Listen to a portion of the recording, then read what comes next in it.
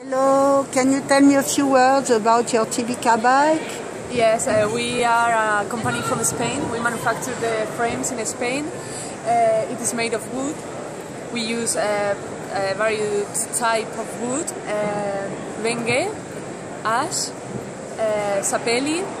We have also uh, beech and, and a kind of wood that you, you can combine.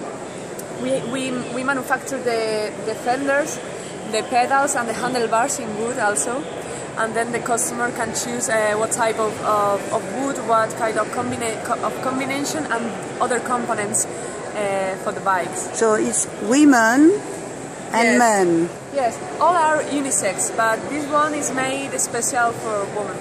Yes, because when you have a dress, it's not easy to ride yes, on the other model. Exactly. How much does this one cost? This one is uh, 5,000 euros and this one uh, 5,500.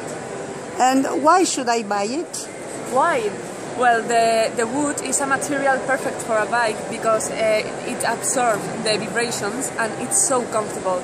Uh, have all the all the good um, characteristics of any other element like aluminium, uh, carbono, and, and, but it's so comfortable and strength.